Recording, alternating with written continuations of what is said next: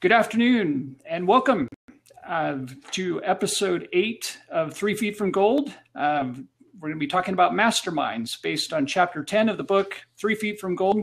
My name is Jeremy Murphy. I'm a positivity, health, and running coach in Lincoln, Nebraska, also creator of the Positivity Patrol. And I'm joined by my friend Ha Tran. Hello, this is Ha. I'm a motivational speaker, a published author, and a navigational coach. And my office located in Beverly, Massachusetts. Welcome. Thank you. And uh, before we uh, proceed with the content of the show, we did get consent from the Napoleon Hill Foundation uh, to produce this series and to use the title Three Feet from Gold but they asked us to read a notice to tell you a little bit about the foundation so that others could learn about them. Um, but here's the notice they asked us to read. Three Feet from Gold is used with the consent of the Napoleon Hill Foundation. However, the foundation has no control over and does not endorse the blab.im platform or content. To learn more about the Napoleon Hill Foundation, go to naphill.org and they're doing wonderful work around the world. They've thousands or millions of people over the years. And uh, just if you haven't checked out the foundation's website and their uh, books, please please do that. It's uh, very helpful that people uh, are positive and have a positive mindset, and they're very helpful in that respect too. Okay, uh, now uh, you know today we are in um, that is uh, the episode number eight in chapter right. 10 and the title chapter is masterminds. I love that. So yes. So um, jeremy um, tell me what on your mind when you're talking when you heard people talking about master, uh, mastermind and especially about this book. Um, you know that this is the very concept of the uh, think and grow rich It um, is uh, the mastermind. And here we also have a chapter called mastermind as well. I, I think, you know, before I read Think and Grow Rich, I had no idea what mastermind meant. I, I just, people would use that word and I, I, just couldn't understand it. But after reading Think and Grow Rich and thinking about it a little bit, I, I realized it was, you know, a more powerful concept. It, it really creates a, allows a small group of people to create a brain trust um, of support and uh, encouragement for each other, uh, problem solving, things of that nature, uh, to help everyone achieve their goals and maybe making sure that it's a small enough group that you know it doesn't become unwieldy if the group is too large. You know, the concept of mastermind is um, just to, to create synergy. Yeah, you know, it's simple math. You one plus one equal to two. But when you come into the mastermind, uh, one plus one equal to nine or twelve. Because see, yes. the um, the one of idea um, that uh, they communicate to, to in the group at the mastermind, it will sparkle to more of the idea. Right yes, it, it, creates a powerful synergy and uh, allows for exponential growth among the all the members of the group, not just uh, the uh, administrator or leader of the group, but for everyone to rise together. That's correct because you know the, the concept of the mastermind in this book on Think and Grow Rich that the, the network and then they share the idea and they help each other to reach their peak performance. Right. Right. Peak, peak performance partners for each other. That that's a great way to put it. And I, if that's not what the group is, then it, it's not a mastermind, in my opinion. Do you agree? Yes, uh, no, I agree uh, totally. Um, you know, and then when um, people talking about um, the mastermind, uh, they have an entire different concept about mastermind. But mastermind group is, um, like you said, a small group, four or five people, uh, because uh, first of all, we're talking about the time frame and we're talking about the concept. Um, you know, because not everybody have two, three hours just to sit down and, and talk for hours. True. You know, usually, um, you know, within an hour or so that the mastermind will make more effective because you don't want to to wear people out you know, to be so tired or uh, they have to tending something and because they have to sit there their mind wandering some elsewhere that happens happens to all yeah. of us unfortunately but Yeah. Right. So, um, eh, eh, you know, I we were talking about the mastermind uh, in the three feet from gold and and the think and grow rich. Um, you know, for for me, the idea of mastermind is um, uh, the the people that um, you know when it, it will be good if you can sit a a, um, a round a round table at the coffee shop mm-hmm. when you can drinking the coffee and talking uh, about uh, you know some ideas, some challenge, and someone offer you some solutions or some suggested solutions. Um, but you know, today technology make it um, feasible for the people to have the mastermind uh, online. Um, uh, or even have online and have uh, in person. You know, if you have a the place that you can uh, have the people uh, come together and then they will satellite somebody in and uh, to talking about. Uh, to me, it's more effective when um, your presence known noticed you know because sometimes uh, I, I don't like the, the idea of um, uh, over the phone. But you know, it's also working all day. There is no technology, no um, video, so people don't see each other. Those people are so serious in the idea of to help each other and to lift each other up. You're right. I, I, think it's important to note, though, that a lot of people learn by audio uh, is their primary way of learning, and so for those type of people, the masterminds maybe by virtual connections might work, even if there's a whether there's a video component or not. Maybe it wouldn't be available to everyone, but I, at least with with hearing each other's voices, I, I think you do get a great deal of what that person's bringing to the table. But you're you're right. If you can see them you just you're going to have a deeper understanding. It'll be more a po- powerful experience really. No um I, when I don't know if you have the Think and Grow Rich in your hand or the um, uh, three feet from gold, you will see that uh, the um, the people in the mastermind group, and we're talking about a group of four or five people.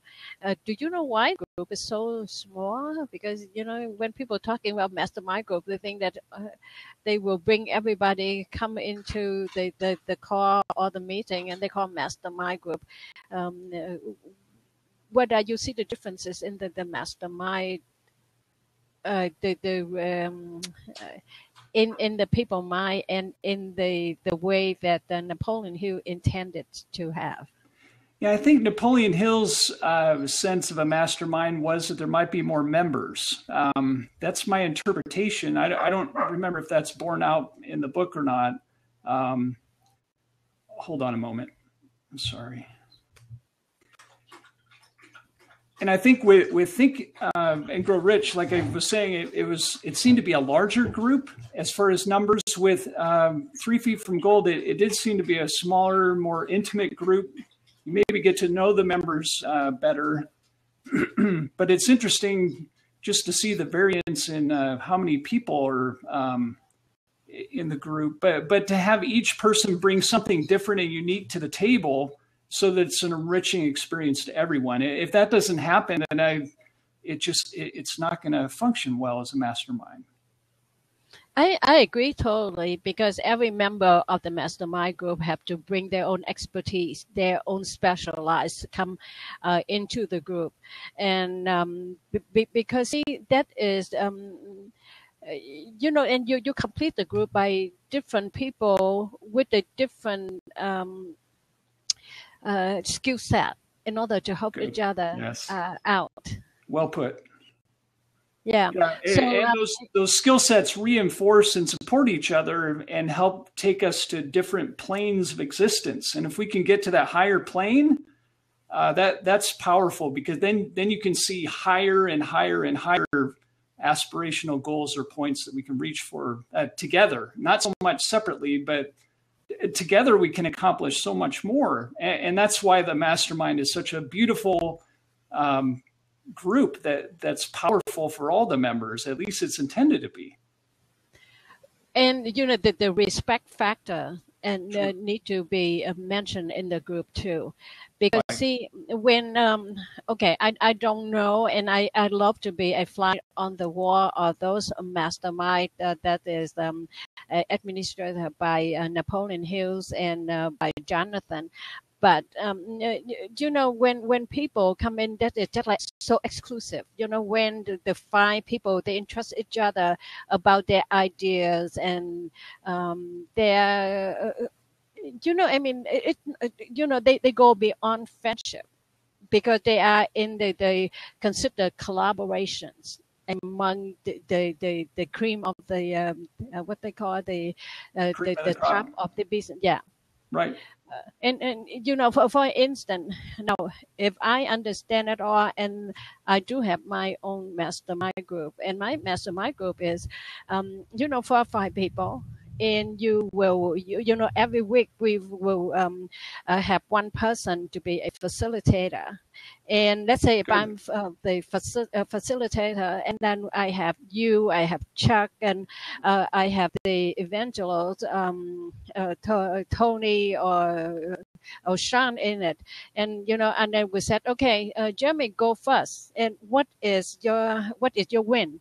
You share with your win and we will together will celebrate with you and hmm. then you know the next thing you issue is you will say um, what is what challenged you and then the people in the member of, of the, the group will give you suggested solutions because who own their own experience they said you know i have the situation like that and let me tell you how i handle it mm-hmm. you know because if you any joe schmo what is your thing is not you know not relevant to me but this they are the people very much equivalent uh, equally into the society and into the business background yes and they, then i said okay yeah. jeremy tell us what is your challenge and how can we help you and then you start to say and then somebody you know and the five people uh, in the group, that means including you, then the four other people will give you their take uh, you know about how they're going to say uh, they give you some suggested solutions. And then at, at the end you will say uh, okay you know I, I listened to you guys carefully and i think chat idea is something that I, I want to implement it because it you know it, it right now at this moment it's the most making sense to me Okay, so and again you said okay, then I'm going to do this, and then you might have a, another conversation. You will connect with Chuck at one point, you know, and then you said okay, then then he can mentoring you. Mm-hmm. If you buy into his idea, he can mentoring you in order to, to help you to overcome that. Right. And then you will make a certain thing, a promise that okay, that's what you're going to do, and the group will hold you accountable for that. You know, I, I love how it, it, allows you to walk away with not just one golden nugget, but with maybe several. Maybe, like you said, if it's a group of five, you, you walk away with five pieces of wisdom that you, can't find on the streets because you don't, like you said, Ha, you don't have people that, with the relevant knowledge and experience and uh, problem solving ability that the people that are in the mastermind are. I mean, there's a powerful dynamic if, if these are successful people that are, you know, we all have our struggles, but but successful people help other people become successful, and, and that's why this works so well. If it's set up well and structured like uh, like you're talking about with the you know with the group that you uh, maintain and run. Yeah, and, and trust and respect is is a very very important because see, if you have a new idea and you know that and you trusted that your idea will be protected, you you know somebody will not steal your idea and go out to do uh, something else. You know, True. see that's why the the I love you using the word dynamic because the the mastermind group it have to be such as you know and it dynamic really of the people who very actively and who will um, will stand on their uh, their decision and they, they will share with you. They're not just saying to you that you have to do that but they just say okay i have gone through that and that's what i have done to solve it. And you know you can listen to other people and you will resonate with someone. And True. when you resonate with them and then you will implement what they just uh, mentioned it But the most important thing is, um, Jeremy, there's a sidebar. You need to bring that people into your world and then to make the connection because they he or she will be your accountability partner for you to go on this journey. Yeah, I'm glad you brought up the the issue of an accountability partner because if we sometimes we procrastinate on things, and if we don't have someone we're checking in with like that, uh, it just it's so easy to just let let all these projects sit, and then we wonder why we're not being successful. Well, it's because we're we don't have a system set up that's strong enough, dynamic enough, and powerful enough to to really light a fire under us and to help us achieve our goals and dreams together. That, that's correct. And Jeremy, just assuming that you are a member of that and you share your win and you share your challenge and people give you your or their suggested and recommend idea and then you make a promise you committed to do something like that will you show up the next week without doing a thing no you show up with all the things ready to say okay you know through your guide you know your share i have done this and done that and you will share that your result with them. Right. See? And, and that's that's where it becomes meaningful where people see, oh well, now that I have said that I'm going to do this, I, I, better go do it because I don't want to show up at the mastermind the next week and say, oh well, I, I didn't really do anything. I'm going to try to do the same thing again. I mean that that's not the point. No. Is that you take the incremental steps like you're talking about. You accomplish A, then B, then C, then D, and go through the alphabet and then you know start over again. yes, and so uh, now they they um Chuck mentioned that they they meet um, maybe uh, one or twice a month or a, a few times a year. But you know, for me, a mastermind group that the one that I so uh, love it that, that you do the weekly because you know four or five people you share time together and you have each other have 10 minutes you know to make your case and then you know and then have somebody you know the other people come together and uh, you know they will give you your point maybe take you take them about four or five minutes. But again you want to go uh, around. We don't want to leave anybody behind because the purpose of that we come in there we will share we will have our equal say about uh, thing going around Right. And that's that's important. You want to each person should be heard and each person has their own wisdom, experience and knowledge that should be shared with the group because it, it can it can help anyone in the group and we don't even know which one until the other members hear what that person has to say. Thank you for mentioning that because uh, that's why the mastermind group you don't come as your convenience that is your commitment. Right. You show Stronger. up every day on time or early because you need to be there because you never know who the one of the member might need your expertise. True.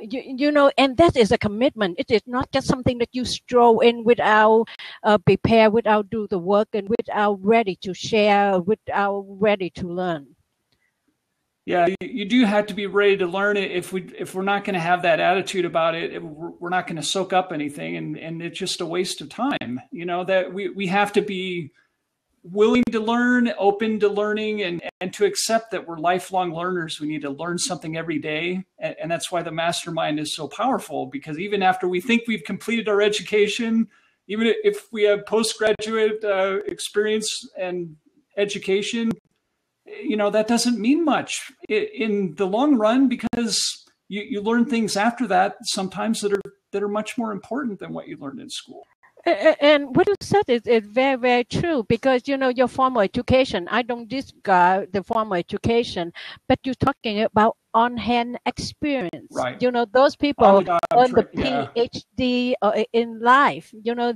they right. learn to um, try and error and through their own experience. That is so invaluable because you know you need to see that you need to recognize that because if you don't mastermind it's not for you True.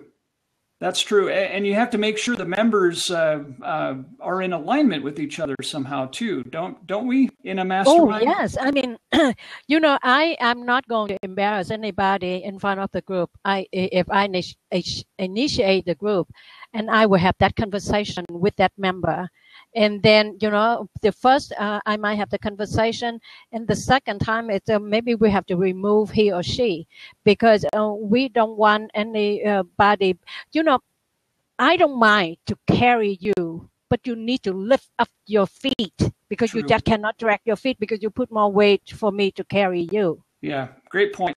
Yeah, we, we can't we can't stay where we are or we don't grow, and if we don't grow, we we're just going to be stuck where we are. That that's correct. So okay, let, let let's talking about the mastermind in this book, and we're talking about the mastermind group um, and the lesson that the, they they share.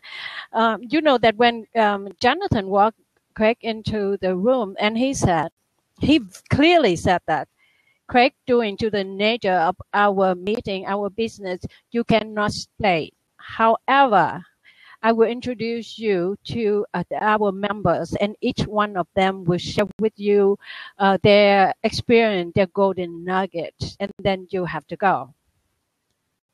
And that that's interesting you bring that up because I, that sneak peek into the mastermind gives you a glimpse that can be useful enough to determine if that mastermind is for you or not.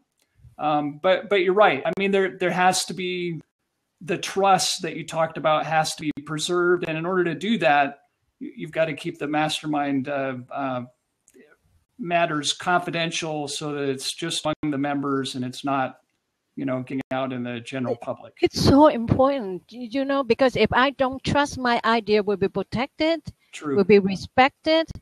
No way i will share with you. And then if the mastermind group make me feel lesser than who i am then that group is not for me True. you know and then if you go into the mastermind group and you don't learn anything you don't pick anything that is not the right group for you. You have to move on to find something else that will True. more that in your level, more uh, suiting you better. Right. And we, and we can outgrow masterminds in some cases. I think if we reach points where we're not benefiting anything, and uh, you know, it just we don't seem to be in alignment in the members, or the administrator is not uh, really putting in the effort to hold the group together as a cohesive group, you know, that then I think sometimes we need to walk away and, and find a mastermind that fits where we are in life. Our our, our growth can take us outside the uh, scope of a you know mastermind A and maybe put us in mastermind B group uh, might be a better fit for us. You, you brought up a, a great point, and yeah, I mean, if you stop growing and then you know you grow out of that group, and then you have move on. True. But let me bring uh, uh, your attention to the mastermind group of Napoleon Hills and um, the one Jonathan have, because those people are so engaging, so commitment, uh, so committed to their personal growth, and those people are not just standing there and let them become obsolete. They Right. continue to move on. They continue to grow, and they continue to um, to be better. And you know, and then if a group have the same commitment, everybody want to be better. Everybody invested in themselves. Um, then uh, everybody will have a fresh uh, idea, and they, they continue to grow on. Yes, they, they, they can stay for years together. That's true, and it's interesting to see. In a lot of cases, they they do stay together for years be- because they um, they recognize they do resonate with each other. They're in alignment. There's personal growth happening for each of the members. Um, but but the thing I would emphasize that relates to what you talked about, is uh, the members have to be active. Everybody's got to be active. They can't, you know, you can't have people uh, slacking a mastermind group or uh, it, you're just going to have giant holes in the boat and the boat will sink. The group won't um, last. You see, and that that that, that that's exactly um, right. And then you you know, and and again, um, you, you I, I think that let's say if you start the mastermind group, you need to have um, the rule and regulations uh, out. Because you know easier when you talk at the beginning of the, the, the starting the group because it becomes something that everybody uh, have to accept and agree to. Not that because later on you said that you must do this and you must do that. True. you, you know and, and I learned to say the word a um, boundary boundary. Uh, boundaries. Boundaries. Yes, uh-huh. you have to set your boundary because uh, what is okay, what is not okay, and you know, and then be- because it is very, very, very important, and then the integrity that you know have to be intact because you cannot be generous to somebody and then resent them at a later time when uh, in fact that you feel like you pour into them and they have they do nothing in reciprocal um, in return sure yeah that it, it's got to be a two-way street and, and if it's not uh, mutual uh, in support and encouragement for each other it just it's not going to work yeah and then if you are the person initiate the group you have to take that top um, uh, role that you will have to talk to the member that less uh, active. Yeah. Uh, and then you know, I mean, you don't embarrass them in front of everybody else, but you must have the, the private conversation. Right. And then the first time you're talking about that, the second time you should let that person go because he or she mm-hmm. might not want to be there. Let he or she go elsewhere where they they be happier. That's a good point. It, it, like, like we said, they're um, they're just the personal dynamics interpersonal relationships vary. Certain people resonate and connect and align with each other better than others and we just have to be open enough to recognize that and um, really figure out which mastermind groups might be a good fit for us and, and which ones might not.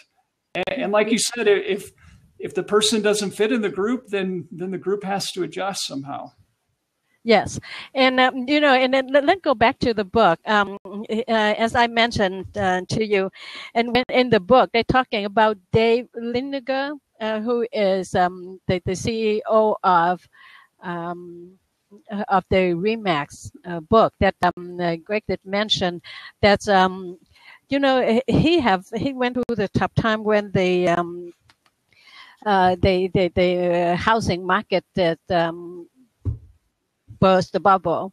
And you know and then the, the one is uh, keep him moving on that he knowing that um, you know because he believed in his ability and he believed that how he create the job for everybody else and the thing is he string one day at a time together and then to get to the day that um, RE/MAX become one of the most successful uh, real estate company in the in the United States and it's amazing to me that I I was able to relate to the um, you know the way that he was fighting off creditors, you know, saying I don't have that money to uh, to give to you and that type of thing. I, I used to practice bankruptcy law, and so you know, as part of what I did as debtors counsel, we would you know make deals with uh, creditors to, to the best of our ability, and sometimes file bankruptcy and sometimes not. And he was able to to avoid what would appear on face to be a you know almost certain bankruptcy filing. It looked like there was no way out of it.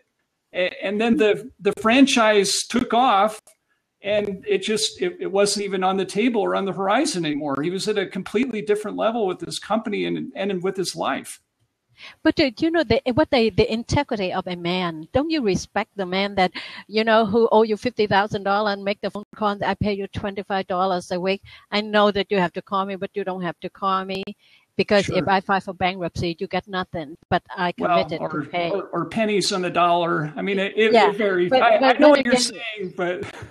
you know, but but whatever. That's it. You know, take courage to make the phone call and courage is a really fundamental um, uh, trait that uh, I think we get into in a later chapter in the book, but it intersects with all the others. And it just, I mean, it's one of the most, probably one of the top five traits that, that we need to have. If, if we don't have it, we're just not going to function well or effectively or be successful in any way. Okay, um, uh, uh let's talking about the um, the mastermind group that the the, the people that um, Craig met, and uh, each one of them give him um, the some of their golden nuggets.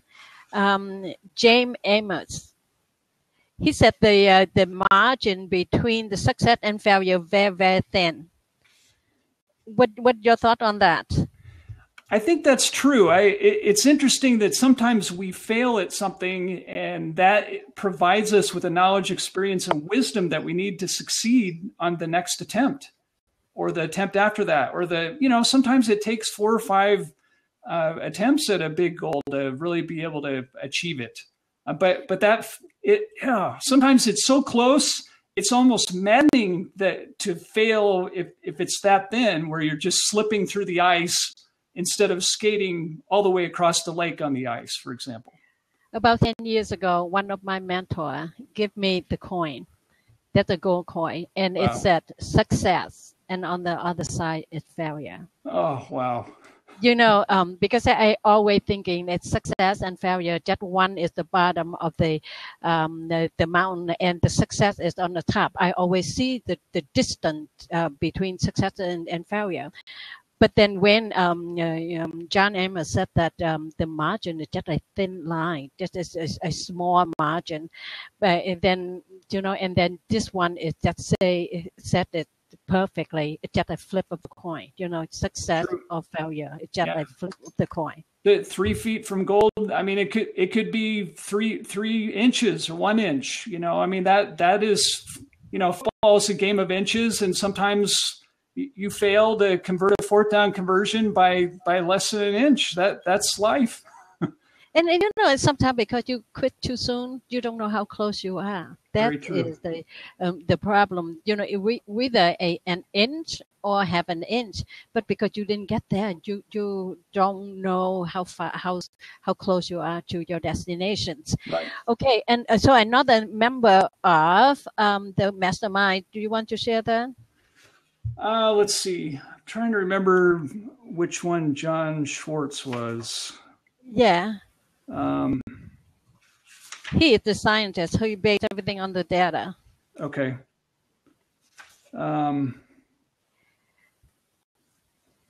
I don't remember what he said. I, am remembering the, the, cowboy ethics guy that's later. Okay, so okay, so what, what did uh, John Schwartz? He said about knowing. You know, even though people laugh at him, think he's crazy, and they don't have any faith, and you know, friends and family, they think that he just should doing something more practical because he something is so crazy, and they think that he he will not prove anything.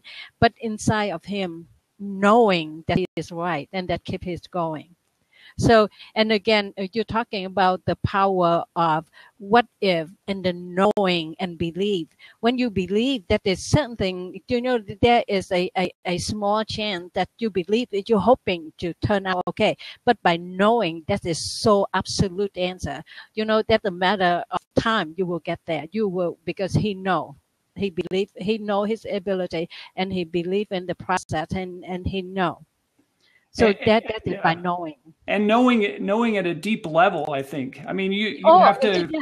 You have you, to have absolute certainty, or or it's not really knowing it. Then, if, if doubt enters into this, then it's Bone not knowing. Deep.